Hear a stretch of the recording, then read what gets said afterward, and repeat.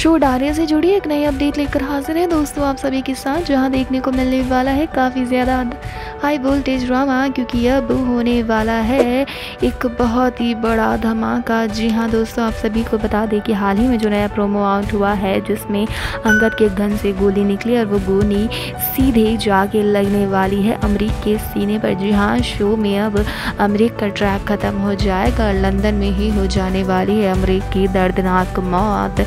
जी हाँ दोस्तों, आप सभी को बता दिए कि यहाँ पर अंगद गोली तो मारने वाला होता है फतेह को लेकिन बीच में आ जाता है हमारा अमरीक।